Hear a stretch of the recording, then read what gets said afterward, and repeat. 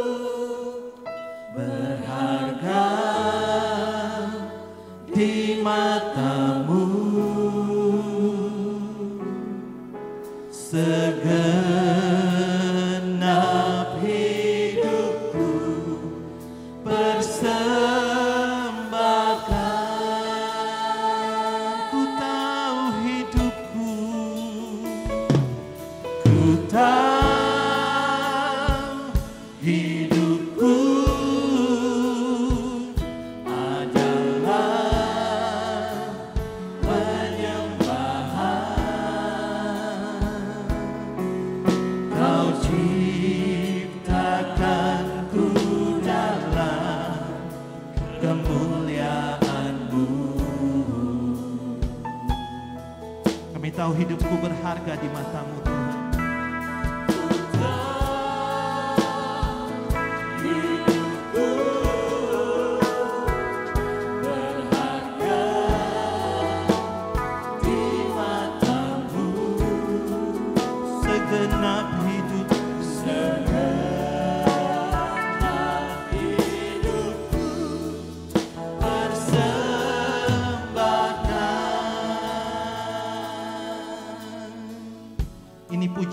Syukur kami Tuhan. Pujian dan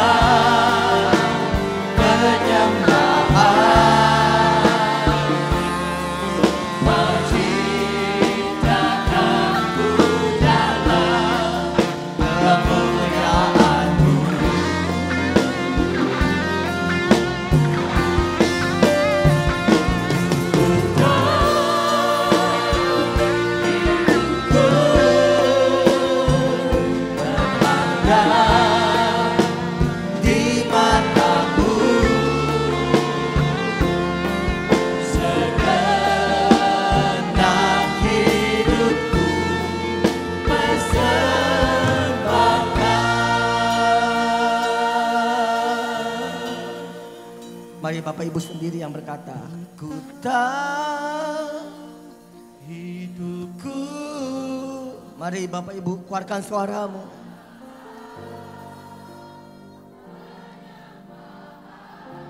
Ya ini kami Tuhan.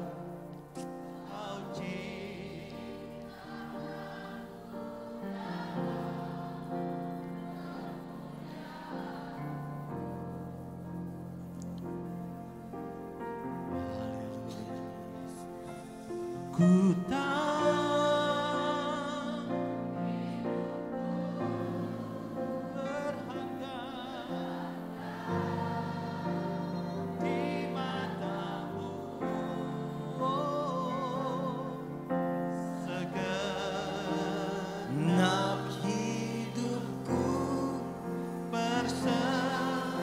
Mari saudara nyanyi lebih keras lagi.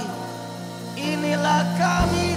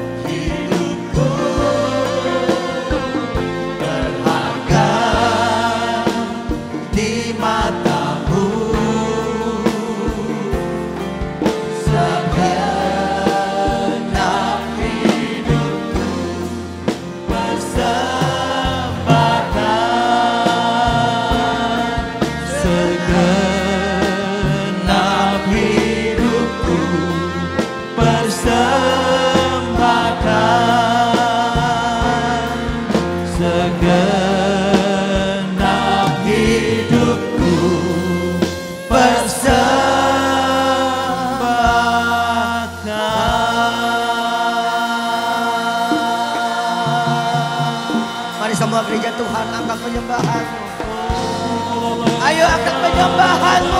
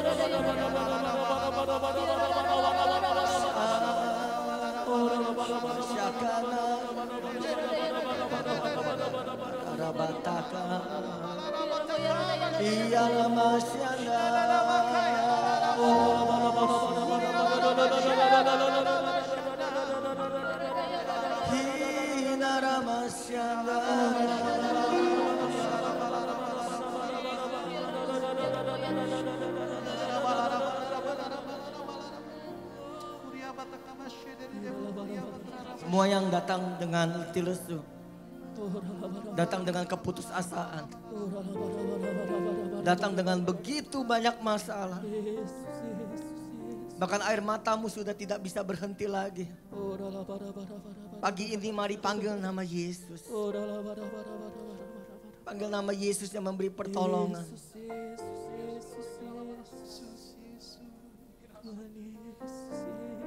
Pertolongan Tuhan begitu ajaib.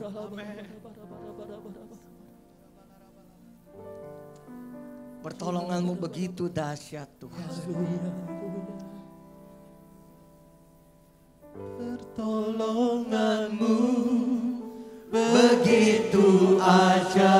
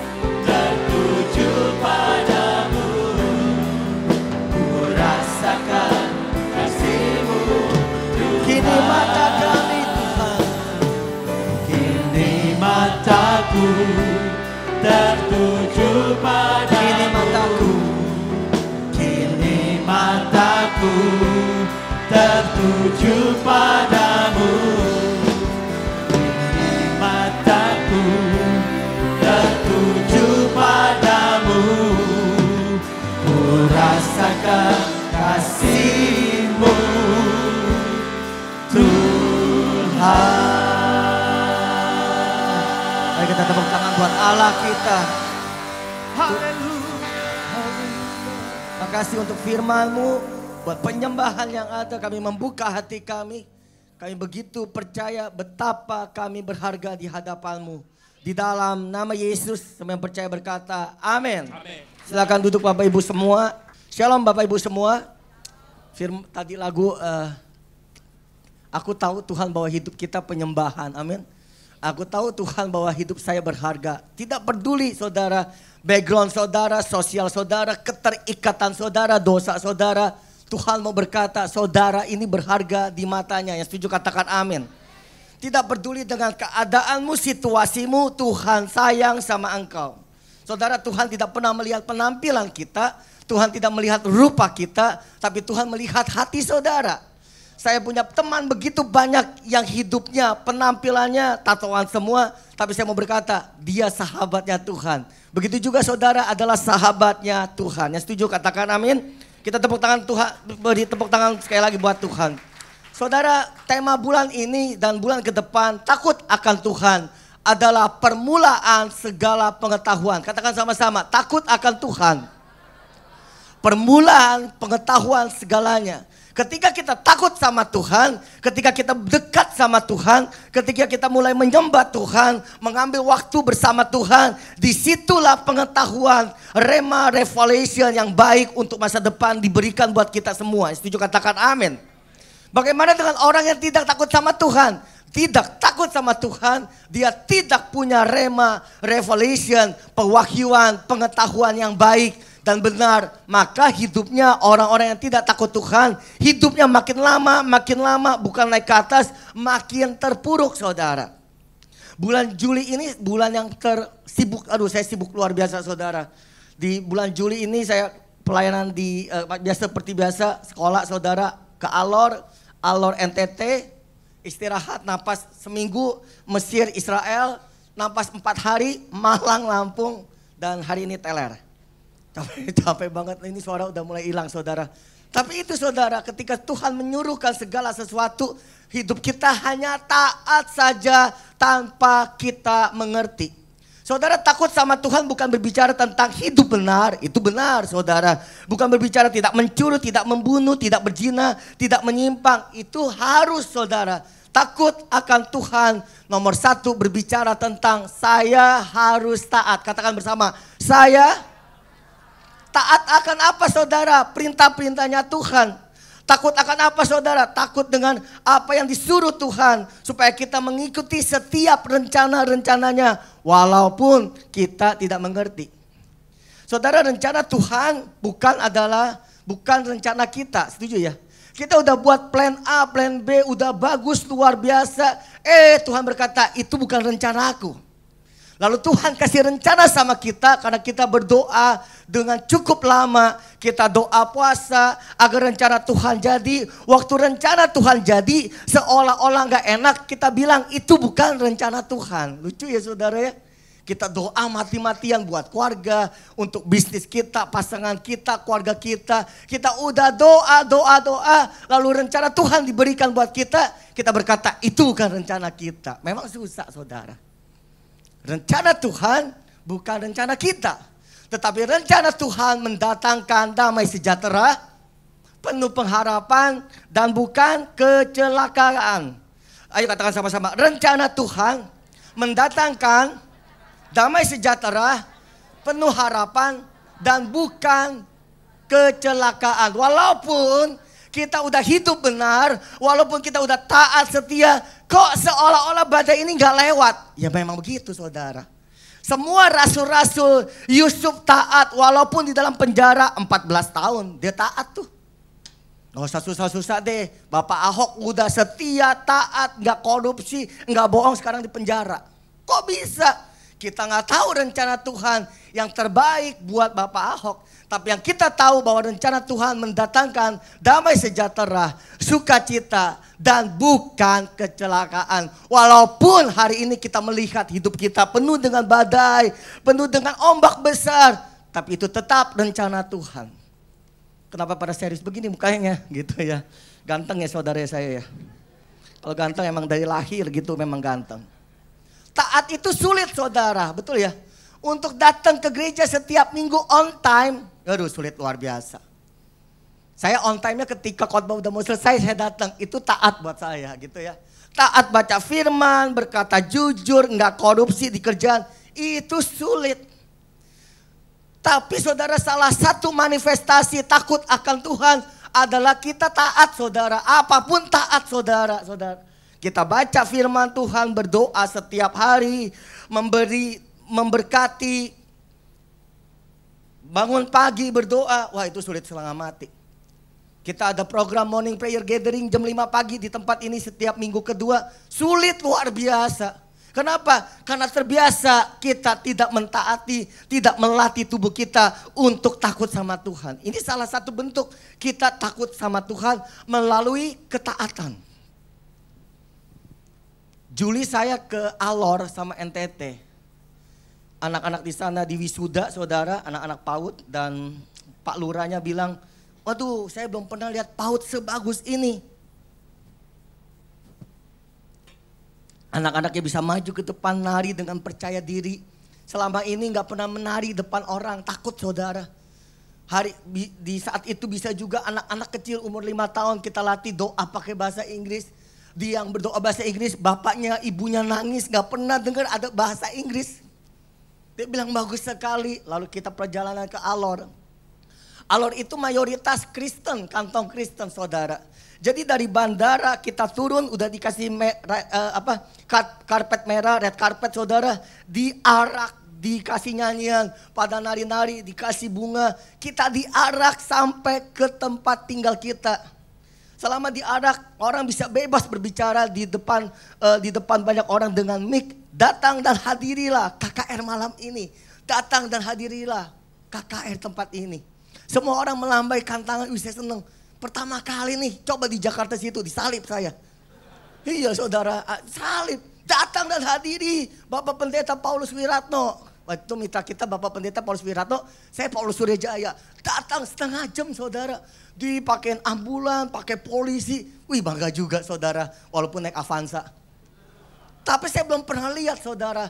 KKR berjalan, ribuan orang datang. Waktunya kita pulang saudara. Di situ ada bandara kecil. Kecil banget saudara. Kalau ambil bagasinya, tas kita dilempar-lemparin, kita ambil cepet-cepet takut hilang saudara. Bandara kampung saudara. Kita nyampe udah mau pulang Jakarta, bandara masih ditutup. Lalu kita tanya, kenapa masih tutup? Oh di sini biasa. Semua penumpang udah pada kumpul, nanti pengurus airport akan telepon ke atas pesawat yang lagi terbang. Turun cepet, penumpang lagi tunggu. Eh ini serius saudara, di bandara Mali, Alor. Jadi kita tungguin satu jam, pintu bandara baru buka. Kita check in, masukin bagasi, packing-packing. Pesawat belum datang, biasa. Kita bilang biasa. Telat dua jam, pesawat belum datang. Tiga jam, langsung kita ke warung, cuman ada warung di sana saudara, makan indomie udah dua tuh Tiga jam waktu makan Indomie. Karena bandaranya ya sederhana, nggak kayak di Singapura Changi Airport atau di bandara Jakarta Terminal 3 Ultimate. Udah pernah saudara angkat tangan yang udah? Ya kasihan deh lu gitu ya. Kelihatan gitu loh orang yang punya uang sama yang nggak punya uang. Kemarin saya baru juga pertama kan ke bandara uh, Terminal 3 Ultimate. Wah itu bener kayak Singapura. Persis kayak Singapura. Tetap ya Indonesia toiletnya becek tetap. Udah bagus ya toiletnya basah semua gitu loh saudara. Tunggu tiga jam tidak ada kabar, empat jam kita mulai, aduh gerah nih. Kok nggak datang-datang? Tanya pengurusnya bagaimana? Pesawatnya lagi mau terbang. Saya bilang dari tadi mau terbang dulu nggak terbang-terbang. Empat jam masuk lagi ke warung makan indomie. Jadi indomie sana paling enak. Karena udah nggak ada lagi saudara. Lima jam nggak ada kabar. Enam jam udah gerah saudara. Lima jam udah udah udah kesel. Teman saya bilang gini, rencana Tuhan bukan rencana kita Paulus. Ngucap syukur aja. Kita nggak tahu di balik ini ada apa. Hidup kita penuh misteri di hadapan Tuhan setuju. Kita udah bikin yang bagus salah. Kita bikin yang salah jadi bagus. Dulu kita sekolah bego banget ya. Rese banget sampah masyarakat Eh diurapi Tuhan. Kita takut sama Tuhan. Hidup kita jadi pemimpin sekarang. Bingung ya. Yang dulu jadi pemimpin yang juara satu, juara dua. Sekarang gak dapat kerjaan. Itu misteri loh saudara. Dulu kita sekolah makan aja susah. Tapi waktu kita takut sama Tuhan. Taat sama Tuhan. Ikuti peraturannya. Hari ini kita diberkati. Dulu teman kita yang kaya luar biasa. Dulu saya saudara punya teman SMP. SMP 1 dia punya uang saku jajalnya sehari sepuluh ribu. Kalau zaman sekarang berapa ratus ribu. Dia sepuluh ribu saya cuma noceng. Naik Mercy bulak balik saudara. Tapi waktu saya takut sama Tuhan. Eh hari ini saya bisa begini loh. Karena Tuhan. Hidupmu hari ini nothing something. Nothing, besok jadi something loh saudara. Hidup ini hari ini nol, gak ada nilai. Tapi karena takut sama Tuhan, Eh besok bisa punya nilai lu saudara. Itu Tuhan kita, tepuk tangan buat Tuhan kita. Jadi bandara udah 6 jam teman bilang udah ucap syukur. Taat aja, kita nggak tahu rencana Tuhan. 7 jam Indomie udah 6 kali makan. Saya makanya bilang Indomie sana udah enak banget saudara, 6 kali. 7 jam 6 kali. 8 jam, 9 jam. Pengurusnya bilang gini, pesawat memang tidak datang. Wih itu hampir dibakar loh saudara. Itu udah marah-marah geblak-geblak meja. Balikin uang saya. Kita enggak karena disuruh mengucap syukur. Ya udah taat. Udah kesel juga saudara. 9 jam di bandara seunyil gitu saudara.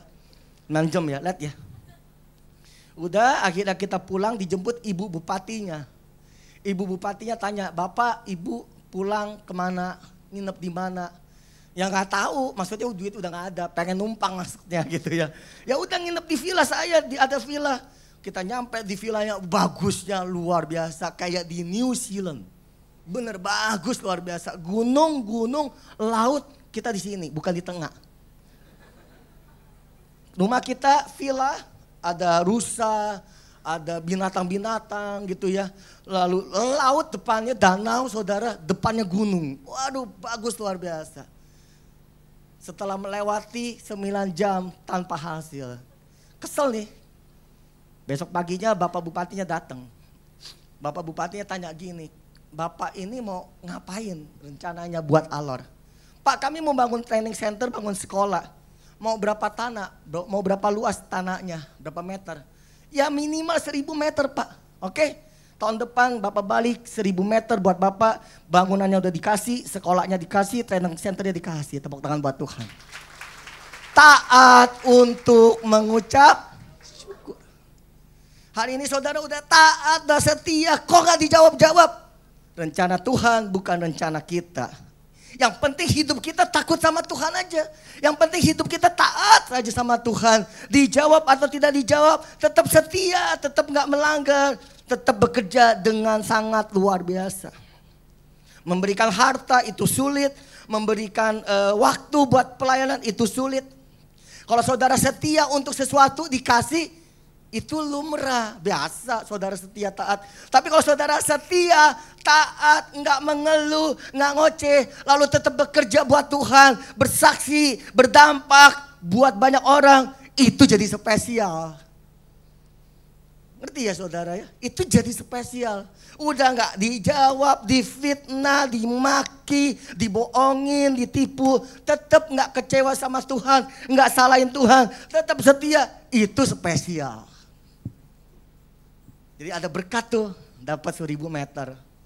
Walaupun bukan buat saya, bersama tim kita akan bangun di sana. Tahun depan akan kita ke, ke, ke Alor lagi. Saya ngajak saudara wisata kuliner plus mission trip. Alor, hmm, lautnya luar biasa. Kalau saudara nggak percaya, add Instagram saya Paulus Suryajaya, bener deh. Saudara lihat Indonesia, Maluku bagus luar biasa. Alor NTT lautnya udah bagus luar biasa. Saudara akan lihat di, di sosmed saya, itu semua tentang Indonesia Timur. Udah besokannya beli pesawat lagi, nah naik pesawat nih. Dalam setahun, saya hampir tiap bulan kan keluar kota, keluar kan ya pokoknya keluar pelayanan sana sini sana sini. Dalam setahun saya ketemu pramugari tiga kali, orang yang sama, timnya sama. Saya sampai bingung, kok ketemu lagi? Eh kok apa kabar kok? Saya bilang waduh gawat nih kalau ketemu gini nih. Kenapa kalau ketemu gini, ketemu orang kayak gini saudara, itu tangan dia bisa nempel di paha, di muka saya, semua ditempel. Nggak tahu itu kenapa itu pramugari ya. Saudara saya ketemu lagi, lalu itu saya doa sama Tuhan. Ada apa Tuhan? Setahun belum setahun ketemu pramugari yang sama tiga kali. Kan sulit saudara ketemu pramugari ya sekali, besok ketemu lagi. Enggak, setahun tiga kali. Lalu Tuhan bilang sama saya gini, kamu ketemui senior pramugarinya Kasih tahu dan injilin dia. Saya bilang ngapain injilin dia? Orang gua sebel sama yang itu tuh. Kalau ngomong tangannya ke mana-mana, ih koko, aduh dia elus-elus saudara. Aduh, untung si Unya gimana gitu ya, anteng ya. Aduh, atas bawah semuanya pemusik itu, eh koko manis banget gitu ya. Injilin dia. Ya udah saya taat, takut akan Tuhan. Salah satunya kita mau taat apa yang Tuhan suruh walaupun kita tidak mengerti. Taat pergi ke sana, nggak mau Tuhan. Karena kita taat kita jalan. Udah saya datang. Senior pramugari lagi sibuk jualan saudara. Saya bilang, mbak, mbak, mbak, boleh gak saya ngomong? Eh, ada apa koko gitu ya. Ada apa koko? saya kayak mau ditelan sama dijilat saudara. Ada apa koko? Ada apa kok? Saya mau ngomongnya gimana ya? Aduh saya dikasih hikmat tiba-tiba gini. Mbak boleh gak saya mau baca masa depannya ngeramal. Oh mau, mau. Dia pikir saya bercanda mau. Oke duduk di belakang, kabin belakang, apa eh, tempat duduk pramugari. Oke serius nih mbak ya. Lalu Tuhan taruh sesuatu sama saya dan saya bilang gini, mbak ini saya lihat hidupnya nomor satu begini, nomor dua, nomor tiga, nomor empat, nomor lima, nomor enam, nomor tujuh dan kejadiannya yang akan datang seperti ini, ini, ini, ini. Nangis lu saudara. Dia nangis yang kaget.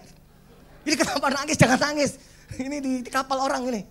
Nangis. Dan itu pramugari yang kedua nanya juga, saya injilin. Nomor tiga saya injilin. Semuanya satu-satu, semua ketemu saya. Ini udah mau landing pesawat. Pramugari, pramugarinya bilang, jangan keluar, jangan keluar, di sini aja. Gila lu di sini aja tak ketahuan. Udah di sini aja. Pakai ikat payung uh, seat beltnya pramugari. Duduk dan injilin. Lihat saudara, hasil kita taat. Ada berkat tanah, seribu meter bangunan dibangunin, tanda tangan sertifikatnya nanti bupati. Yang kedua, jiwa-jiwa datang buat hidup saudara. Amin. Tepuk tangan buat Tuhan. Ketika kita taat walaupun tidak mengerti. Yusuf itu taat di penjara, dibuang, dikhianati belasan tahun tidak ada solusi. Dia udah doa sampai dia males doa, sampai mungkin dia kecewa, tapi dia taat tetap menyembah Tuhan Allahnya. Yakub itu tetap menyembah Tuhan Allahnya. Walaupun disuruh kerja 14 tahun tanpa upah. Hanya demi satu wanita yang dia cintai Rahel. Rahel. Dia tetap taat setia. Musa itu anak kesayangan putra mahkota Mesir. Dia tetap setia apa yang dikatakan Tuhan. Naik gunung Sinai, balik lagi, naik lagi, balik lagi. Padahal Musa orang yang gak bisa ngomong pintar saudara. Sulit untuk ngomong alias gagap saudara. Cuma karena ketaatan. Rasul-rasul, nabi-nabi dalam Alkitab Tuhan pakai secara luar biasa. Kalau kita lihat para nabi, masa lalunya hancur saudara. Petrus gak punya masa depan yang jelas. Paulus pembunuh, Yakub itu pembohong. Musa itu ketakutan luar biasa. Tapi waktu kita mulai taat, mereka taat, terjadi sesuatu yang ajaib dalam hidup saudara dan saya. Amin. Roma 5, mari kita buka.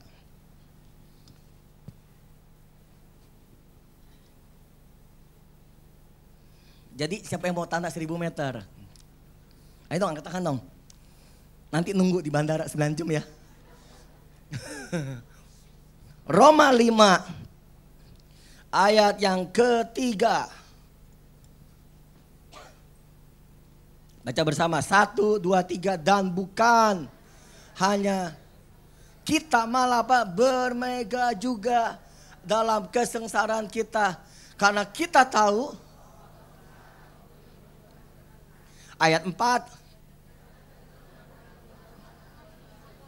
Tahan uji menimbulkan apa? Ayat ayat 5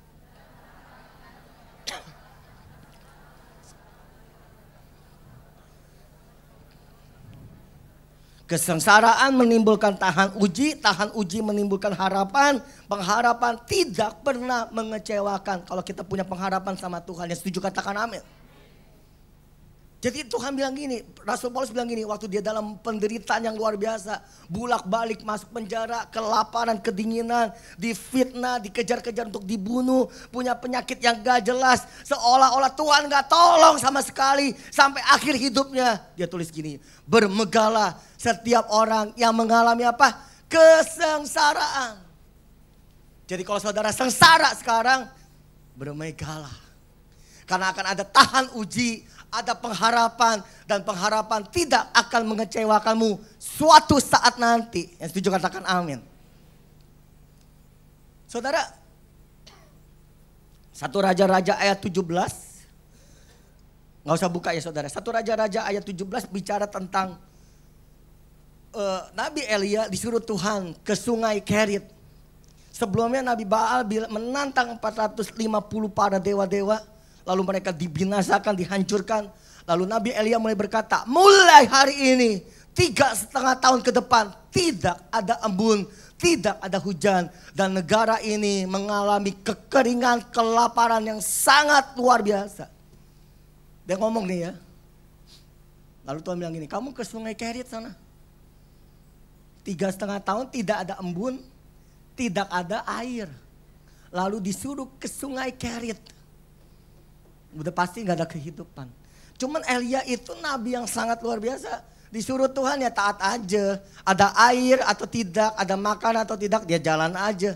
Begitu nyampe sungai Kerit, begitu dia taat, burung gagak datang sama dia. Kasih makan setiap hari. Selama tiga setengah tahun. Hebat loh. Kalau saudara disuruh Tuhan jalan, jalan aja. Jangan mikir uangnya dari mana, temannya siapa, nanti ditolak. Jalan aja kalau Tuhan suruh. Tapi pertanyaannya bagaimana kita tahu Tuhan lagi suruh kita? Saya nggak bisa dengar suara Tuhan.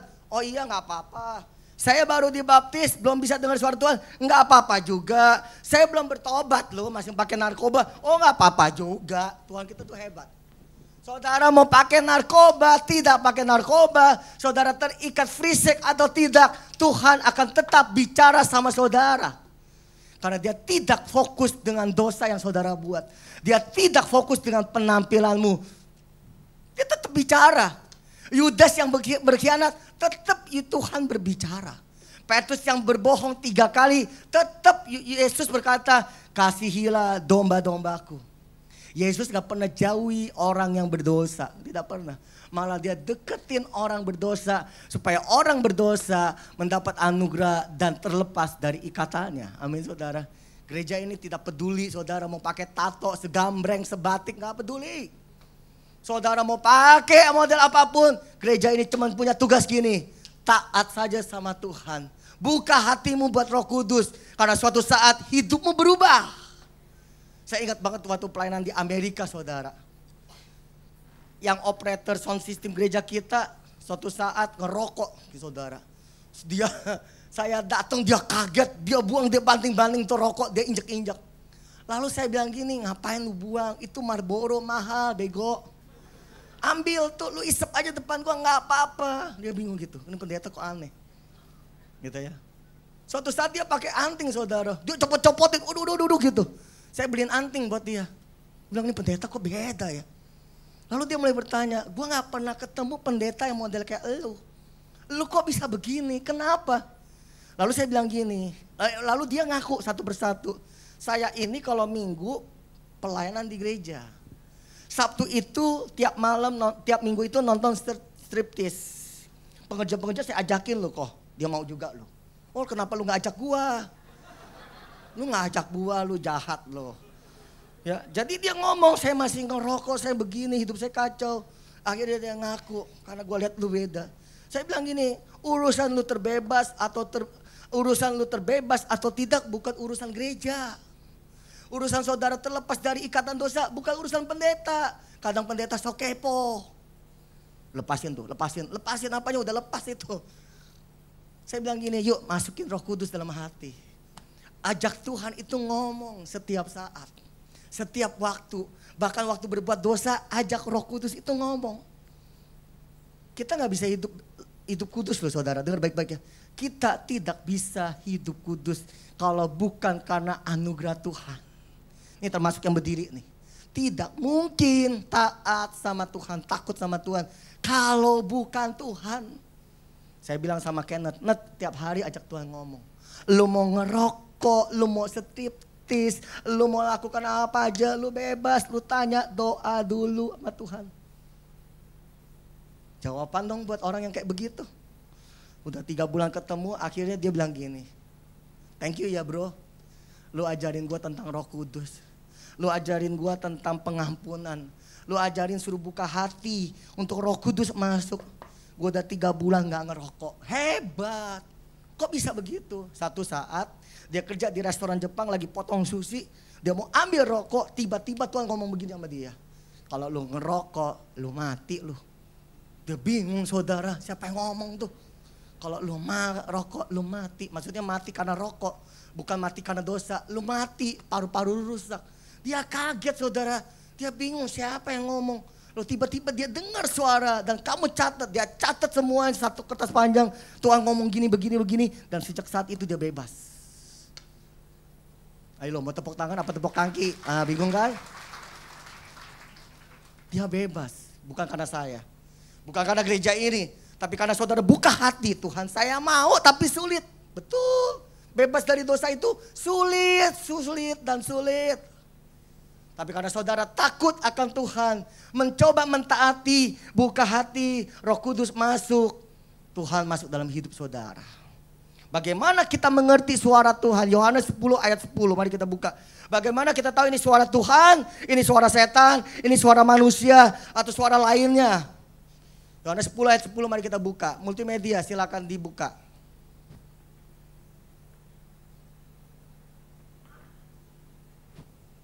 Adakah orang multimedia? Oke, mari baca bersama. Satu, dua, tiga, pencuri. Untuk apa? Mencuri, membunuh, membinasakan. Stop sampai situ. Suara iblis membuat saudara makin hari makin binasa. Dia datang mencuri damai sejahteramu. Kalau damai sejahteramu udah gak ada, makin gak ada. Sering depresi, iblis lagi masuk dan mencuri. Dan saudara sedang mentaati perintahnya iblis, bukan perintahnya Tuhan. Tetapi aku datang kata Yesus memberi apa? kehidupan sampai hidupmu berkelimpahan. Tugas iblis itu mencuri damai sejahtera. Dia membuat kita sombong, emosi. Kita melakukan penyimpangan. Nggak apa-apa, lu lakukan ini nggak apa-apa, nggak ada yang tahu. Nggak apa-apa, dosa nggak apa-apa. Itu iblis terang. Mencuri, membunuh, membinasakan. Tapi suara roh kudus menyadarkan kita akan dosa. Memberi hidup ke depan. Bukan penghakiman, bukan bukan memberikan uh, duka cita. Dia kasih kedamaian, ketenangan, bahkan solusi. Beda ya? Pencuri datang membunuh, mencuri dan membinasakan. Aku Yesus datang memberikan hidup. Saudara udah tahu tuh. Tuhan bisa bicara melalui film yang saudara tonton.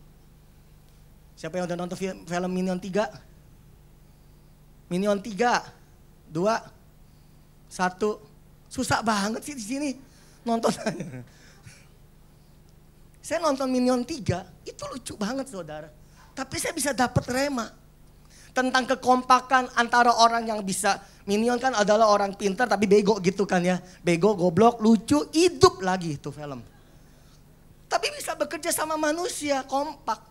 Waktu Minion 3 filmnya, Minionnya kabur karena kecewa. Dia ingat tentang tuannya, tem, uh, tentang majikannya. Akhirnya ketemu lagi, dukung lagi dan support lagi. Tuhan bicara tuh. Lihat tuh ya, orang yang paling jahat, orang yang paling kejam dan kabur. Suatu saat dia akan jadi temanmu lagi. Lewat film, lewat pujian, lewat khotbah, lewat kejadian. Semuanya Tuhan bicara, bicara melalui hati nurani saudara. Jadi kalau tanya Tuhan ngomongnya gimana? Gak usah sampai gimana. Saudara akan tahu sendiri ketika saudara mulai taat. Suara iblis Galatia 5 ayat 19. Mari kita buka.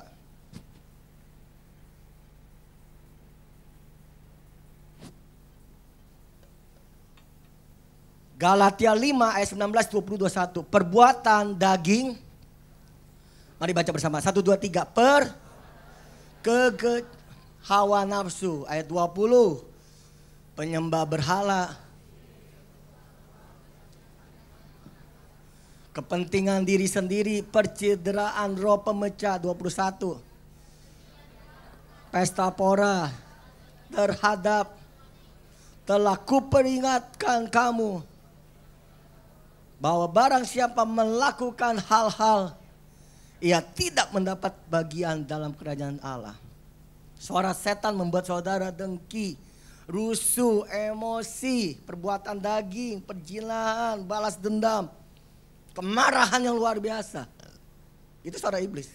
Kalau udah disuruh, ayo beli, beli, beli buat apa? Hancurin hidup. Itu suara iblis sudah terang-terang. Ayo pakai, pakai, gunakan, ambil, korupsi, gak apa-apa. Itu udah suara iblis. Kita udah tahu kok, kita punya hati nurani. Kalau suara manusia apa saudara? Suara manusia menentang hukumnya Tuhan. 1 Korintus 13 tentang kasih. Kasih itu mementingkan orang lain bukan diri sendiri. Kasih itu tidak sombong. Kalau suara manusia kita akan kita akan doa laut begini. Aku kan hebat, aku kan bisa, aku lebih hebat dari dia. Aku, aku, aku, aku, aku, aku, aku. Itu suara Tuhan, suara manusia. Jadi kalau saudara minta jodoh, tiba-tiba ngomong gini, aku bisa, aku bisa dapetin dia. Suara manusia. Bisa tuh wanita kece, cakep, seksi, penting. Wah, suara siapa tuh? Suara kita dan suara setan. Lalu Roh Kudus menyadarkan jangan itu pasangan orang lain. Jangan, itu nggak boleh. Gak bisa dalam nama Yesus, gak bisa dalam nama Yesus, gepret loh. Ngerti ya saudara, yuk taat yuk. Mungkin waktu kita taat, kita setia, kita nggak lihat. Waktu kita mengucap syukur, kita nggak lihat. Waktu kita melakukan segala sesuatu udah diuji, udah diharapkan, udah aduh kok nggak dapet hasilnya. Saudara jangan lupa, masalah selalu membuat kita kuat, katakan amin. Masalah membuat iman saudara makin hari makin bertumbuh. Masalah membuat kita tahan uji dan berharap sama Tuhan. Dan Tuhan itu ingin kita lakukan itu saudara. Pemusik boleh maju. Tanpa ketaatan tidak ada kemenangan apa-apa. Elia datang ke sungai Kerit kering kerontang. Tapi karena dia taat Tuhan kirim solusi buat dia. Habis dari sungai Kerit dia ke Janda Sarfat. Waktu dia lihat janda Sarfat, kalau saya jadi nabi saya kaget juga. Janda miskin banget. Kerek, rumah udah mau ambruk, makanan tinggal sekali makan.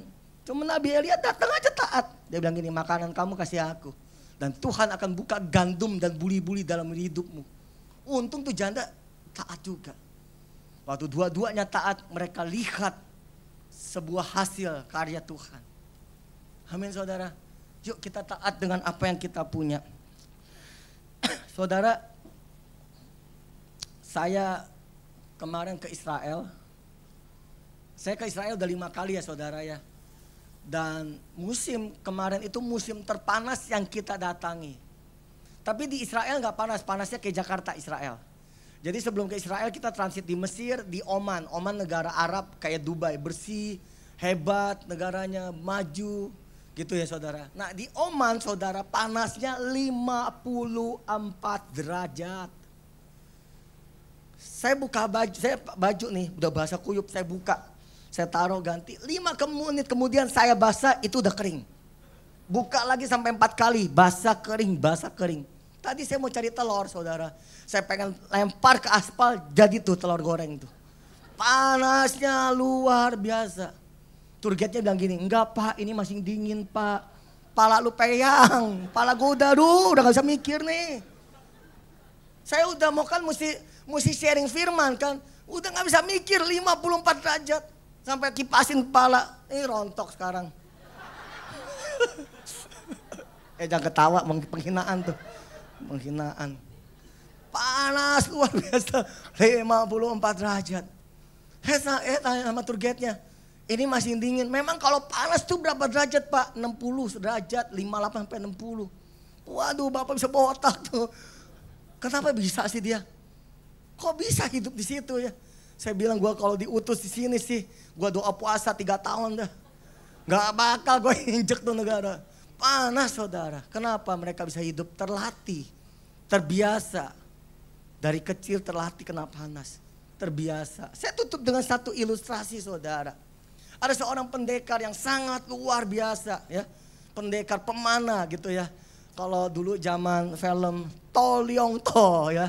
Pendekar Raja Wali, oh, Andi Lau. Siapa Andi Lau nama bahasa bahasa Chinese siapa? Hah?